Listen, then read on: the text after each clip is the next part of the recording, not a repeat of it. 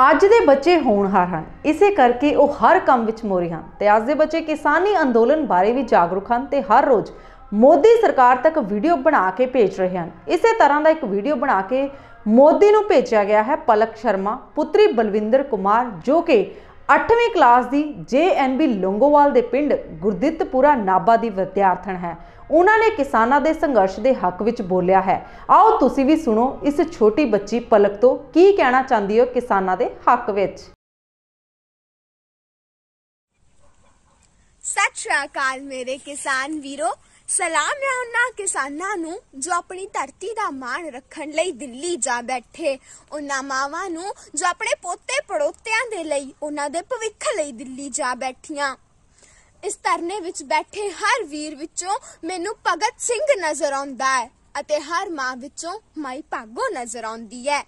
ਮੈਂ ਵੀ ਕਿਸਾਨ ਦੀ ਪੋਤੀ ਹਾਂ। ਮੇਰਾ ਵੀ ਖੂਨ ਖੋਲਦਾ ਹੈ ਆਪਣੀ ਮਿੱਟੀ ਦੇ ਲਈ। ਮੈਂ ਦਿੱਲੀ ਬੈਠੇ ਹਰ ਵੀਰ ਨੂੰ ਦੱਸ ਦੇਣਾ ਚਾਹੁੰਨੀ ਆ ਕਿ ਵੀਰੋ, ਭੈਣਾਂ ਐਸੇ ਦਿਨ ਲਈ ਰਖੜੀ ਬੰਦੀਆਂ ਹਨ ਆਪਣੇ ਭਰਾਵਾਂ ਨੂੰ। ਸੋ ਸਮਾਂ ਆ ਗਿਆ ਹੈ, ਆਪਣੀ ਭੈਣਾਂ ਦੀ ਰਖੜੀ ਦਾ ਮਾਣ ਰੱਖਿਓ, ਆਪਣੀ ਭੈਣਾਂ ਦੀ ਰਖੜੀ ਦਾ ਮਾਣ ਰੱਖਿਓ। ਮੈਂ ਇਸ ਮਹਾ ਜੰਗ ਵਿੱਚ ਯੋਗਦਾਨ ਪਾਉਣਾ ਚਾਹੁੰਨੀ ਆ ਤੁਹਾਨੂੰ ਬਜ਼ੁਰਗਾਂ ਵੱਲੋਂ ਸੁਣਾਈ ਇੱਕ ਕਹਾਣੀ ਯਾਦ ਕਰਵਾ ਕੇ।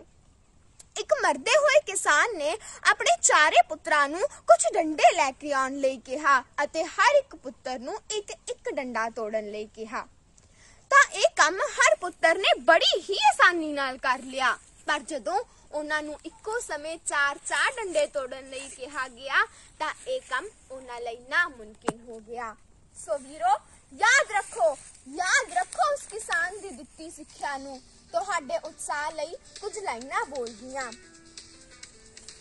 ਤਲਵਾਰਾਂ ਵਰਗੇ ਹੌਸਲੇ ਸਬਕ ਸਿਖਾ ਕੇ ਜਾਵਾਂਗੇ। ਤਲਵਾਰਾਂ ਵਰਗੇ ਹੌਸਲੇ ਸਬਕ ਸਿਖਾ ਕੇ ਜਾਵਾਂਗੇ। ਤੂੰ ਕਰ ਲੈ ਤਿਆਰੀ ਦਿੱਲੀ ਏ ਨੀ ਪੜਨੇ ਪਾ ਕੇ ਜਾਵਾਂਗੇ। ਸਾਨੂੰ ਜਿੱਤ ਹਾਰ ਨਾਲ ਫ਼ਰਕ ਨਹੀਂ, ਤੇਰੀ ਨੀ ਹਲਾ ਕੇ ਰੱਖ ਦਿੱਤੀ ਸਾਡੇ ਜਿਗਰੇ ਤਪਦੇ ਸੂਰਜ ਨੇ ਤੇਰੀ ਜਾਨ ਸੁਕਾ ਕੇ ਰੱਖ ਦਿੱਤੀ। ਤੇਰੀ ਵਿਕੀ ਜ਼ਮੀਰ ਤੇ ਚਿੱਟਾ ਸੱਥਰ ਪਾ ਕੇ ਜਾਵਾਂਗੇ। ਤੂੰ ਕਰ ਲੈ ਤਿਆਰੀ ਦਿੱਲੀ ਏ ਨੀ ਪੜਨੇ ਪਾ ਕੇ ਜਾਵਾਂਗੇ। ਇਹ ਖੱਟੀਆਂ ਚੁੰਨੀਆਂ ਨਾ ਜਾਣੀ, ਨੀ ਨਿਰੀ ਕਹਿਰ ਦੀ ਤੂੰ ਦਰਦ ਅੰਨਾ ਦੇ ਕੀ ਜਾਣੇ। ਬੁਲਬੁਲੀਏ ਫਿਲਮੀ ਸ਼ਹਿਰ ਦੀਏ ਜੇ ਬਦ ਜ਼ੁਬਾਨੀ ਕੀਤੀ, ਫੇਰ ਸੁਣਾ ਕੇ ਜਾਵਾਂਗੇ। ਤੂੰ ਕਰ ਲੈ ਤਿਆਰੀ ਦਿੱਲੀਏ ਨੀ ਪੜਨੇ ਪਾ ਕੇ ਜਾਵਾਂਗੇ। ਸਾਡਾ ਨਾਲ ਤੇਰੇ ਕੋਈ ਵੈਰ ਨਹੀਂ। ਚੁੱਪਚਾਪ ਗੁਜ਼ਾਰੇ ਕਰਦੇ ਹਾਂ। ਪਰ ਧਰਤ ਸਾਡੀ ਤੇ ਨਜ਼ਰ ਪਾਈ। ਹੁਣ ਵੇਖੀ ਕੀ ਗੁੱਜ ਕਰਦੇ ਆ। ਤੇਰੇ ਅਰਬ ਕਰੋੜ ਦੇ ਥੱਬਿਆਂ ਤੇ ਲਾਂਬੂ ਲਾ ਕੇ ਜਾਵਾਂਗੇ। ਤੂੰ ਕਰ ਲੈ ਤਿਆਰੀ ਦਿੱਲੀਏ ਨੀ ਪੜਨੇ ਪਾ ਕੇ ਜਾਵਾਂਗੇ। ਤੂੰ ਕਰ ਲੈ ਤਿਆਰੀ ਦਿੱਲੀਏ ਨੀ ਪੜਨੇ ਪਾ ਕੇ ਜਾਵਾਂਗੇ। ਤੁਹਾਡੇ ਲਈ ਸ਼ੁਭ ਇਸ਼ਾਵਾਂ ਨਾਲ। ਤੁਹਾਡੀ ਛੋਟੀ ਭੈਣ ਪਲਕ। ਧੰਨਵਾਦ।